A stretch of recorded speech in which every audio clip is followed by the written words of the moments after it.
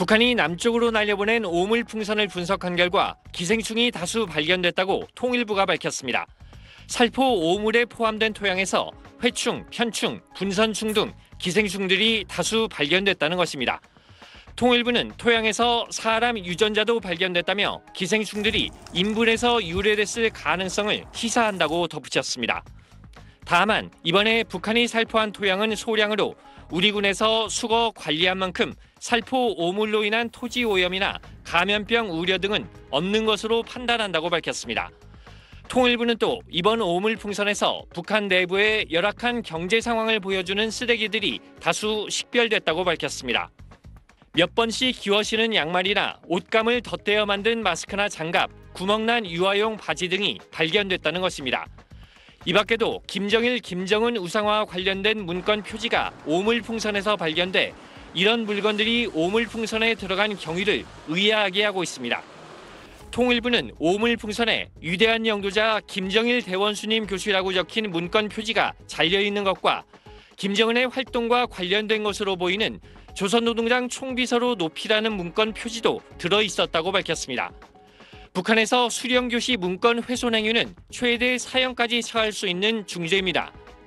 통일부는 북한이 살포한 오물들이 일반 쓰레기보다는 일정한 크기의 피해종이 자투리천 등 이른바 살포용 쓰레기였다고 밝혔습니다. SBS 안정식입니다. 북한이 사흘 만에 다시 오물 풍선을 상공으로 띄우기 시작한 시간은 어젯밤 8시쯤. 합동참모본부는 그로부터 45분쯤 뒤 남하하던 풍선들이 군사 분계선을 넘었다고 밝혔습니다. 밤 10시쯤엔 서울 양천구 SBS 목동 사옥 야외 주차장에서도 북한발로 추정되는 풍선의 잔해물이 발견됐습니다. 제가 야근을 하고 있는 SBS 보도국 기자인데요. 퍽 하는 큰 소리가 났고 쓰레기와 종이들이 발견이 됐습니다. 풍선 한 개에 달린 적재물은 5에서 10kg 정도로 종이 조각과 폐 천 조각, 빈 플라스틱 병과 북한산으로 추정되는 담배 꽁초 등이 발견됐습니다. 오물풍선은 수도권에 집중 낙하했는데 멀게는 경북, 경남 지역까지 날아갔습니다. 군 당국은 2차 살포된 오물풍선이 1차 살포분의 약 3배에 이르는 720여 개로 집계됐다고 밝혔습니다. 사흘 전 260여 개 등 두 차례에 걸쳐 1000개 정도를 보낸 건데 지난 2016년과 2017년 연간 살포했던 양과 비슷한 수치입니다. 군 당국은 낮 1시 이후 추가로 식별된 오물풍선은 없고 화생방 물질 등 위험 물질은 발견되지 않았다고 밝혔습니다. 하지만 풍선 안에 있던 기폭 장치가 폭발하면서 불이 옮겨 붙는 등 화재와 파손 피해가 곳곳에서 잇따랐습니다. 군 관계자는 풍선에 위험 물질이 달려 있을 가능성을 배제하지 못하는 만큼 이번에도 공중 격추보다 낙하 후 수거하는 방식을 택했다고 설명했습니다. 우리 정부의 경고에도 다시 오물풍선을 대거 살포한 건데 북한이 남한 내 내부 갈등과 혼란을 초래하려는 대남 심리전에 집중하고 있다는 분석이 나옵니다. SBS 정혜경입니다. 자동차 앞유리에 사방으로 금이가 있습니다. 차 주변에는 흙과 종이 조각이 흩어져 있습니다. 오늘 새벽 5시 40분쯤 서울 양천구 신정교 아래 주차장에 서 있던 승용차에 오물풍선 잔해가 떨어졌습니다. 당시 차에 아무도 타고 있지 않아 다행히 다친 사람은 없었지만 차주는 놀란 가슴을 쓸어내렸습니다.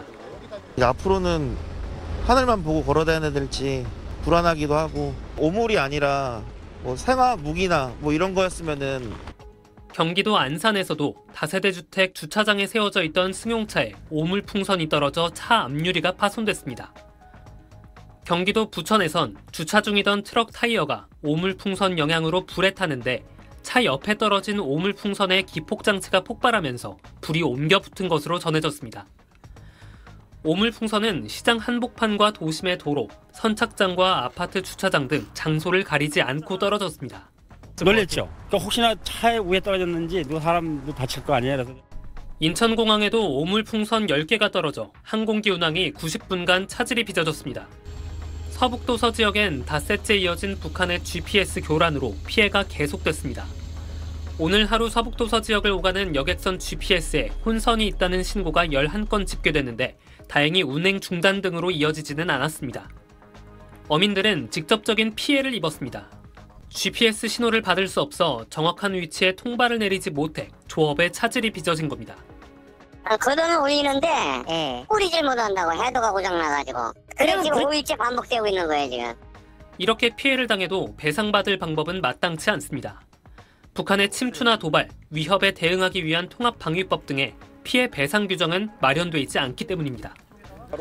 다만 자동차 피해의 경우 자기 차량 손해보험에 가입돼 있다면 보험 처리가 가능합니다. SBS 최승훈입니다. 경기 용인시의 한 밭에 비닐봉지를 매단 커다란 풍선 두 개가 놓여 있습니다. 출동한 군인 10여 명이 시민들의 접근을 막고 수거에 나섭니다. 쓰레기 봉투 같은 게 있는데 그 군인들이랑 저기 와가지고 경찰들이랑 와가지고 뭐 화생방 뭐 하는 사람들이랑 폭발물 처리반까지 와가지고 어젯밤부터 북한이 남쪽을 향해 날린 풍선입니다. 합동참모본부는 북한이 어제 오후 9시쯤부터 다량의 풍선을 남쪽으로 살포했다고 밝혔습니다. 북한과 인접한 경기와 강원은 물론 멀게는 경남 거창과 전북 무주에서도 풍선이 발견됐습니다. 주택과 도로, 학교, 심지어 정부 서울청사 옥상에도 풍선 잔해가 떨어졌습니다. 북한이 살포한 풍선은 길이가 3에서 4m로 아래에 달린 비닐봉지 안에는 오물과 각종 쓰레기가 들어 있었습니다. 주변에 흩어져 있던 쓰레기들을 모아봤습니다. 이렇게 군복으로 추정되는 원단들부터 해서요.